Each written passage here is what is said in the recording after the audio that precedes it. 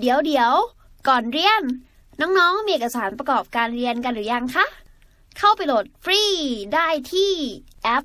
Nestle School ทั้งใน iOS และ Android เลย ต่อไปเป็นข้อที่ 24 นะครับ ถ้าเศษกำลัง 4 a หรือเศษ a กำลัง 4 เนี่ย บวกแทนกำลัง 4 นะครับ มีค่าเท่ากับ 3 แล้วโคเศษกำลัง4บวก cot กำลัง 4 จะมีค่าเท่ากับข้อใดต่อไปนี้นะครับ3บวก2 square root 3 3บวก2 root 5 5บวก2 root 3หรือ5บวก2 square root 5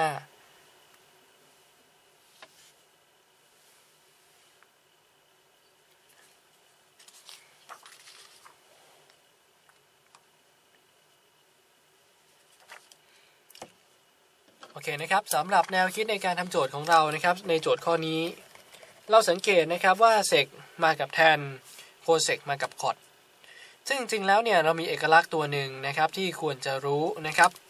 อาจคือจริงๆทุกอย่างมันมามันสามารถมาจากได้จากสูตรไซน์กำลังสองบวก cos กำลังสองก็ได้นะครับ สูตรนี้ก็คือเป็นสูตรที่คาดหวังว่าทุกคนควรจะทราบนะครับ ว่ามีค่าเท่ากับ 1 ไม่ว่า a จะเป็นมุมอะไรก็ตามอะอันนี้เป็นเอกลักษณ์ที่เป็นจริงเสมอ ทีนี้ถ้าเกิดว่าพี่ลองเอา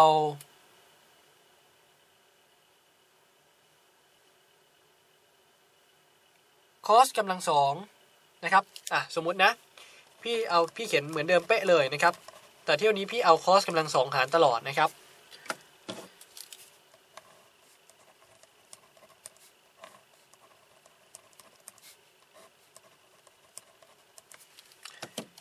ไซน์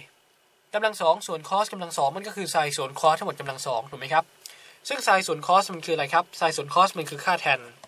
ก็ได้กลายเป็น tan กำลังสองบวกอยู่กับ1นะครับมีค่าเท่ากับ 1 ส่วน cos ส่วนกลับของ cos ก็คือ sec นะครับก็คือ sec กำลังสองหรืออาจจะท่องมากลายเป็นว่า1บวกด้วย tan กำลังสองมีค่าเท่ากับ sec กำลังสองก็ได้นะครับ แล้วแต่สูตร หรือจริงๆ จะไม่จำก็ได้นะครับเห็นไหมได้ความสัมพันธ์ระหว่างแทนกำลังสองกับเซกกำลังสองมาเรียบร้อย อีกสูตรหนึ่งนะครับที่สามารถทำได้นะครับก็คือเหมือนเดิมไซน์กำลังสองบวกคอสกำลังสองมีค่าเท่ากับเลขหนึ่ง ทีนี้พี่อาจจะลองเอาไซน์กำลังสองหารตลอดดีไหมนะครับ ลองดูนะ ถ้าพี่ลองเอาไซน์กำลังสอง a หารตลอดนะครับ ก้อนแรกนะครับออกมาก็จะได้ว่ามีค่าเท่ากับเลขหนึ่งนะครับก้อนถัดมา cos ส่วนไซน์ cos ส่วนไซน์คือค่าของ cot cot กำลังสองนะครับเท่ากับ 1 ส่วนกลับของไซน์คือโคเซกนะครับได้ออกมา 2 สูตรแล้วนะครับเห็นไหม tan กำลังสองบวกหนึ่งเท่ากับ sec กำลังสอง cot กำลังสองบวกหนึ่งเท่ากับโคเซกกำลังสองนะครับ ซึ่ง derive from มาจากไซน์กำลังสองบวก cos กำลังสองมีค่ากับ1ทั้งสิ้น โอเค ทีนี้พี่จะเริ่มเอาเอกลักษณ์ตรงนี้มาใช้งานแล้วนะครับ เศษกำลังสี่บวกแทนกำลังสี่เท่ากับเลขสามใช่ไหมครับ อะพี่ก็อาจจะย้ายเนื่องจาก คือเนื่องจากตรงนี้เนี่ยเราทราบว่า1เนี่ยมีค่าเท่ากับเศษ กำลังสองลบแทนกำลังสองเสมอใช่ไหมครับสำหรับ a เป็นมุมใด ๆ พี่ก็เอาเจ้าตัวนี้แหละนะครับ ไปยกกำลังสองทั้งสองข้าง ฝั่งซ้ายกำลังสองได้ตัวเดิมนะครับ คือได้เลขหนึ่งฝั่งขวากำลังสองนะครับมันจะได้ออกมามีค่าเท่ากับพจน์เศษกำลัง4บวกอยู่กับค่าแทนกำลัง4นะครับ แล้วมันก็ยังมีค่าติดลบ2เศษกำลัง2แทนกำลัง2ด้วยนะครับ ซึ่งเศษกำลัง4บวกแทนกำลัง4กำลัง4ก้อนนี้เนี่ยมีค่าเท่ากับเลข3ใช่ไหมครับจากโจทย์บอกมาว่ามีค่าเท่ากับเลข3 1เท่ากับ3ลบ2พอดีเลยเห็นไหมเพราะฉะนั้นเราจะได้ว่า หรือจริงๆเราจะแก้สมการก็ได้นะครับ แต่ข้อนี้เนี่ยพี่ขี้เกียจแก้ละนะครับ พี่บอกว่าแสดงว่าเศษกำลังสองคูณอยู่กับแทนกำลังสองนั้นมีค่าเท่ากับ 1 ใช่ไหมครับ โอเค แล้วยังไงต่อดี แล้วยังไงต่อดี ทีนี้พอถึงขั้นนี้เนี่ยเราจะเกิดแนวคิดขึ้นมา 2 แนวคิดแล้วนะครับอะพี่เขียนก่อน แสดงว่าเศษกำลังสองคูณแทนกำลังสองมีค่าเท่ากับ1ที่น้องบางคนบอกว่าเฮ้ยพี่มันมีเศษกำลังสองกับแทนกำลังสองเนี่ยมันก็สามารถดึงกำลังสองมาเป็นตัวร่วมได้ใช่ไหมเราย้ายข้างได้กลายเป็นเศษคูณแทนมีค่ากับหนึ่งได้ไหมเอ่ยอะบางคนก็เขียนแบบนี้ครับ นั่นคือเศษ a คูณแทน a มีค่าเท่ากับ 1 ซึ่งจริงแล้วตัวนี้ยังไม่ถูกต้องนะครับ ยังไม่ถูกต้อง เพราะว่าเวลาถอด square root เนี่ยอย่าลืมว่าอาจจะเป็นค่าติดลบก็ได้นะครับ หรือเศษ a คูณอยู่กับแทน a อาจจะมีค่าเท่ากับติดลบหนึ่งก็ได้ใช่ไหมครับ ซึ่งพอทำแบบนี้เนี่ยถามว่ามาทำต่อได้ไหมทำได้ ได้คำตอบเดียวกันไหมได้เหมือนกัน แต่มันอาจจะไม่สวยมาก โอเค น้องอาจจะลองกลับไปทำดูก็ได้นะครับว่า ถ้าเกิดว่าเราลองใช้ผลลัพธ์จากการถอดสแควร์รูทเนี่ย อาจจะลองทำเป็นค่าบวกค่าหนึ่งฝั่งหนึ่งค่าลบค่าหนึ่งซึ่งสุดท้ายมันได้ค่าเดียวกันนะครับ ก็ทำได้เหมือนกัน แต่อีกวิธีหนึ่งที่สามารถทำได้นะครับ ก็คือเราจะเก็บก้อนนี้ไว้ก่อนนะครับ เก็บไว้เป็นสมการดอกจันแล้วกันเนาะนะครับ เก็บไว้ก่อน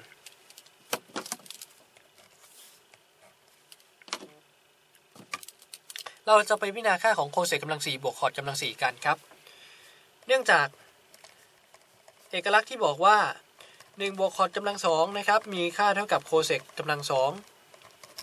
พี่ย้ายข้างขึ้นมานิดหนึ่งครับ ย้ายข้างให้กลายเป็นโคเซกกำลังสองลบ cot กำลังสอง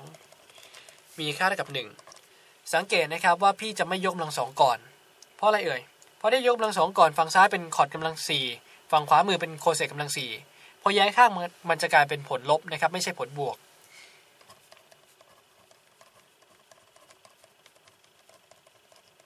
เหมือนเดิมครับเราจับยกกำลังสองทั้งสองข้างนะครับยกกำลังสองสองข้าง ฝั่งซ้ายมือก็ยังคงเหมือนเดิมนะครับคือเลขหนึ่งฝั่งขวามือก็จะกลายเป็นโคเซกกำลังสี่บวกอยู่กับ cot กำลังสี่นะครับแล้วก็จะมีผลลบคือ 2 คูณอยู่กับโคเซกกำลังสองคูณอยู่กับคอร์ดกำลังสองพี่ย้ายข้างนิดหนึ่งครับ แสดงว่าอะไรครับ แสดงว่าโคเซกกำลังสี่บวกอยู่กับคอร์ดกำลังสี่ก็จะมีค่าเท่ากับ 1 บวกอยู่กับ 2 ย้ายย้ายก้อนนี้ไปบวกนะครับ 2 คูณอยู่กับโคเซกกำลัง 2a คูณอยู่กับคอร์ดกำลัง 2a เพราะฉะนั้นนะครับสิ่งสุดท้ายที่เราจะทำนะครับสำหรับโจทย์ข้อนี้ก็คือเราจะทุ่มทุกอย่างนะครับเพื่อหาค่าของโคเซกกำลัง 2 คูณ cot กำลัง 2 ให้ได้ ซึ่งคำถามคือเราจะหาได้จากไหนนะครับ ก็หาได้จากดอกจันนี่แหละนะครับ อะเรามาลอง derive form กันนิดนึงนะครับ เราลองดูกันว่าเราจะหาค่าได้ยังไงนะครับ จากค่าดอกจันนะครับ จากสมการดาว เรารู้ว่า sec กำลัง2คูณ tan กำลัง2นั้นมีค่าเท่ากับ 1 ทีนี้มันคืออะไรนะครับ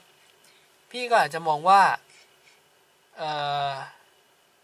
เซกมันก็คือส่วนกลับของคอส มันก็คือ 1 ส่วนด้วยคอสกำลัง2โอเค แทนมันคือไซน์ส่วนคอสใช่ไหมครับ มันก็คือไซน์กำลัง2ส่วนคอสกำลัง2มีค่าเท่ากับ 1 แสดงว่าอะไรครับ แสดงว่า แสดงว่าไซน์กำลัง2ก็จะมีค่าเท่ากับคอสกำลัง4เหมือนเดิมนะครับ พี่ยังไม่ถอดรูทนะ ถ้าถอดรูทเนี่ยคือได้ก้อนเดิมเลยนะครับ มันจะกลายเป็นค่าบวกค่าลบใช่ไหมครับอะเราพักไว้ก่อน เราจะต้องการหาค่าของอะไรครับ ต้องการหาค่าของ โคเซกกำลังสี่โคเซกกำลังสองคูณคอร์ดกำลังสองก็จะกลายเป็น 1 ส่วนอะไรครับ1ส่วนไซน์กำลังสองคูณอยู่กับคอสส่วนไซน์ใช่ไหมครับ แต่ว่ากำลังสองทั้งบนทั้งล่างด้วย ก็คือเราอยากจะหาค่าของคอสกำลังสองส่วนด้วยไซน์กำลังสี่ว่ามีค่าเท่ากับเท่าไหร่ แต่ว่าเรารู้ว่าไซน์กำลังสองเท่ากับคอสกำลังสี่อ่า เพราะฉะนั้นนะครับเราสังเกตนะ ถ้าพี่แทนไซน์กำลังสองลงมา ก็จะกลายเป็นเอ่อพี่เขียนตรงนี้ได้ไหมว่าไซน์กำลังสี่นะครับมีค่าเท่ากับ cos กำลังแปดเพราะฉะนั้นนะครับตรงนี้มันคือค่าของ cos กำลังสองส่วนด้วยไซน์กำลังสี่ก็คือ cos กำลังสองส่วน cos กำลังแปดก็คือมีค่ากับหนึ่งส่วนด้วย cos กำลังหกนั่นเองนะครับเพราะฉะนั้นจากโจทย์เนี่ย แสดงว่าโคเซกกำลังสี่บวก cot กำลังสี่ก็จะมีค่ากับ1บวก2คูณอยู่กับ 1 ส่วน cos กำลัง 6 เพราะในคำถามควรจะกลายเป็น 1 ส่วน cos กำลัง 6 มีค่าเท่ากับเท่าไหร่ ถูกไหมครับอ่าทีเริ่มสนุกแล้ว ที่พี่สังเกตต่อนะครับ เนื่องจากเพราะว่า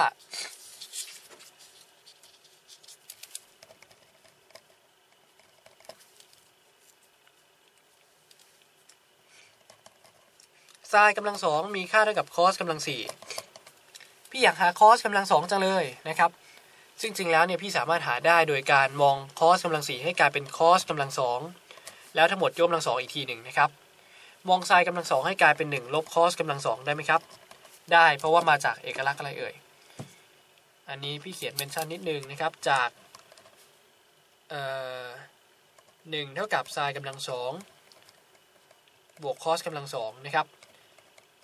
ย้ายคอสกำลังสองไปลบก็กลายเป็นไซน์กำลังสองเท่ากับ1ลบคอสกำลังสองโอเค เพราะนั้นนะครับ พี่ย้ายข้างนิดนึงก็จะกลายเป็นคอสกำลังสองหมดกำลังสองบวกอยู่กับคอสกำลังสอง a ลบหนึ่งมีค่าเท่ากับศูนย์นะครับ คือย้ายฝั่งซ้ายให้กลายเป็นฝั่งขวา สมมุติตัวแปรครับ สมมุติให้ x มีค่าเท่ากับ cos กำลังสองของค่า a นะครับ ของมุม a ก็จะได้สมการออกมาชื่อว่า x กำลังสองบวก x ลบหนึ่งมีค่าเท่ากับศูนย์ใช่ไหมครับ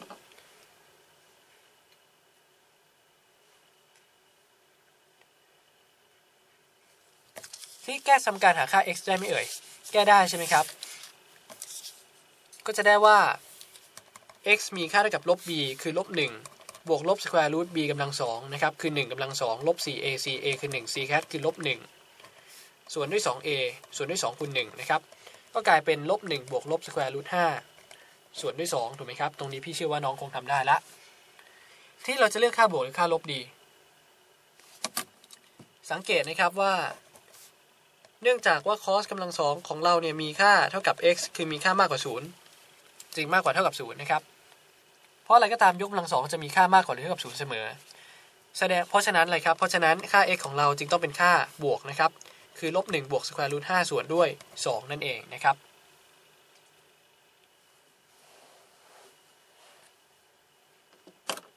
อะ โจทย์ต้องการค่าของอะไรครับ 1 ส่วน cos กำลัง6นะครับ เราหาค่านี้ก่อน ก็จะมีค่ากับ 1 ส่วนด้วย cos กำลัง 2 ทั้งหมดกำลัง3ใช่ไหมครับ ก็กลายเป็น 1 ส่วน x ทั้งหมดกำลัง3ถามว่ามีค่าเท่ากับเท่าไหร่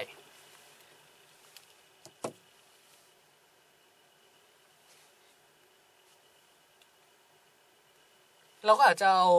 ก้อนนี้ไปหาส่วนกลับก็ได้ หรือจริงๆเนี่ยเราสังเกตเพิ่มอีกนิดนึงนะครับ ถ้าพี่เอา x หารตลอด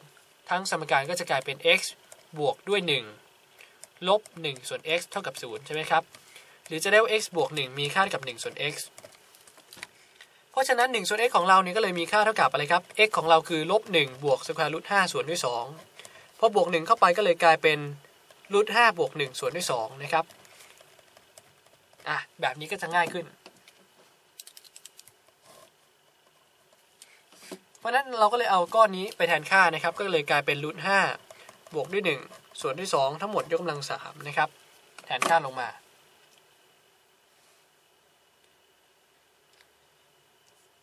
ใช้สูตรการกระจายเพิ่มเติมนิดหนึ่งนะครับ หน้าบวกหลังทั้งหมดกำลัง3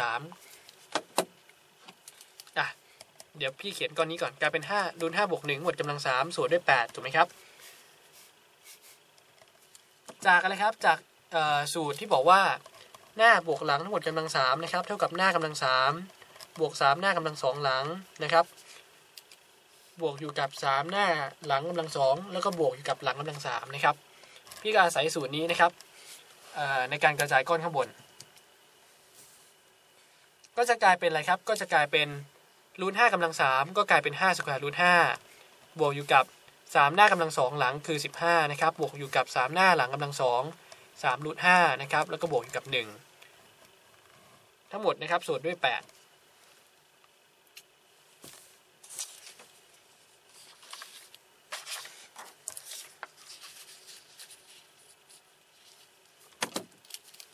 ดังนั้นเลยได้ว่าเลยครับ ดังนั้นเลยได้ว่า 1 ส่วนด้วย cos กำลัง 6 ก็จะมีค่าเท่ากับ 16 บวกอยู่กับ8 square root 5ส่วนด้วยส่วนด้วย 8 ใช่ไหมครับ ก็จะมีค่าเท่ากับ 2 บวกด้วย square root 5เมื่อจบแล้วนะครับ และจากโคเซกกำลัง 4 บวกด้วยคอร์ดกำลัง 4 นะครับ มีค่าเท่ากับ 1 บวกด้วย 2 โคเซกกำลัง 2 cot กำลัง 2 ซึ่งไอ้เจ้าก้อนนี้เนี่ยมีค่าเท่ากันนะครับ ซึ่งก้อนนี้ก็มีค่าเท่ากับ 1 ส่วนด้วย cos กำลัง 6 เห็นไหมครับ มีค่ากับ 1 ส่วน cos กำลัง 6 ก็เลยได้ว่า ก้อนนี้นะครับมีค่ากับ 1 บวกอยู่กับ 2 คูณอยู่กับ 2 บวกด้วย square root 5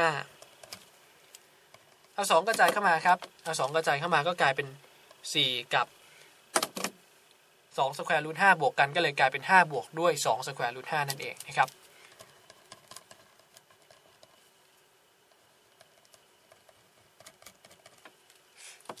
เค ซึ่งตรงกับ choice ข้อ D dog เลยนะครับ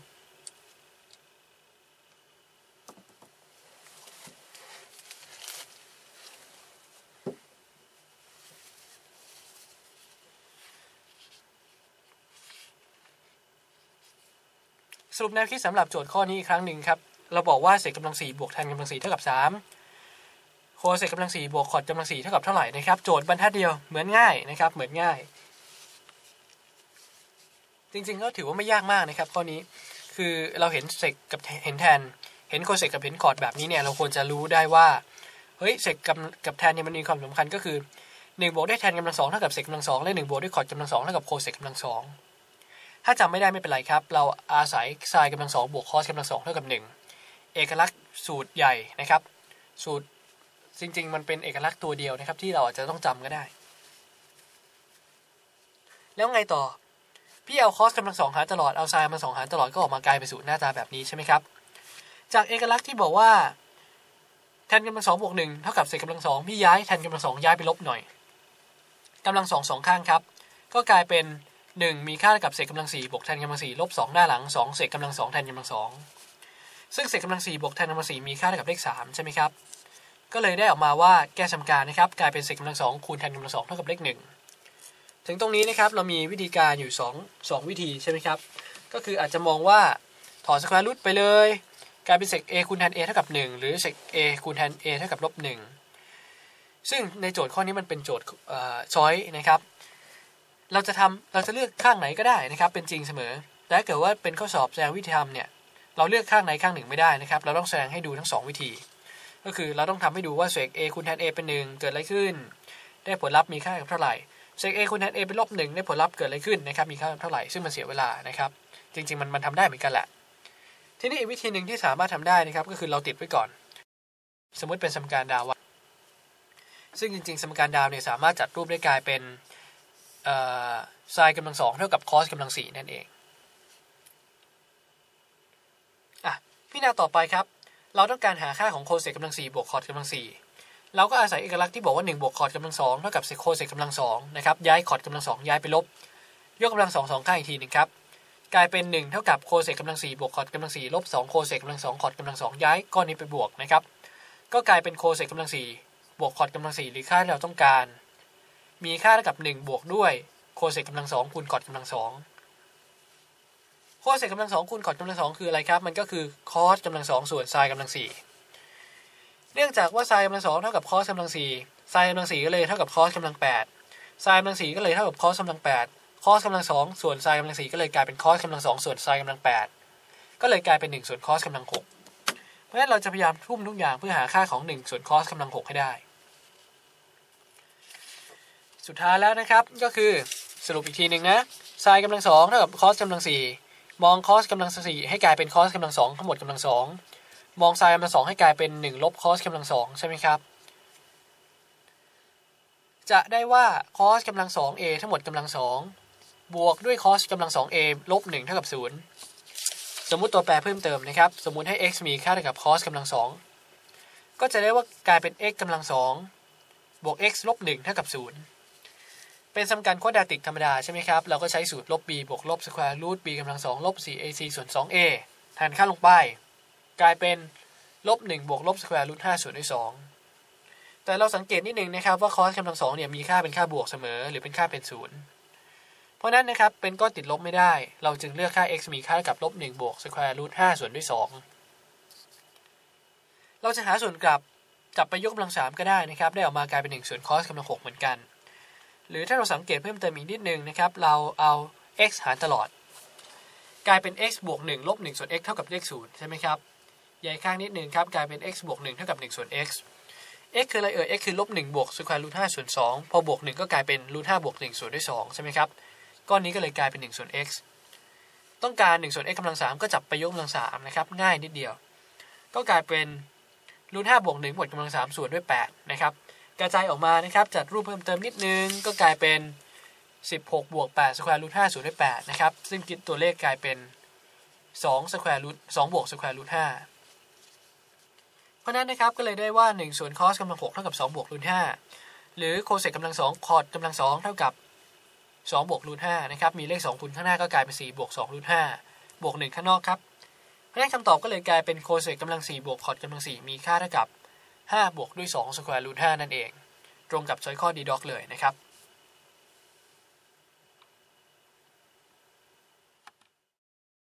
เรียนจบแล้ว อย่าลืม เข้าไปฝึกทำข้อสอบแบบจับเวลา ในแอป Nestle School กันด้วยนะจ๊ะ ถ้าน้องๆมีคำถามสงสัย ไม่เข้าใจตรงไหน ถามมาในแอปได้เลย แล้วพี่ๆจะรีบเข้าไปตอบให้นะคะ ความรู้นั้นล้ำค่าบทจัดเวลาไว้เรียนรู้เขียนอันนี้ให้เป็น สมมติสมมติที่ให้สีเขียวมาทำไงก็ได้ให้ได้แสงสีขาว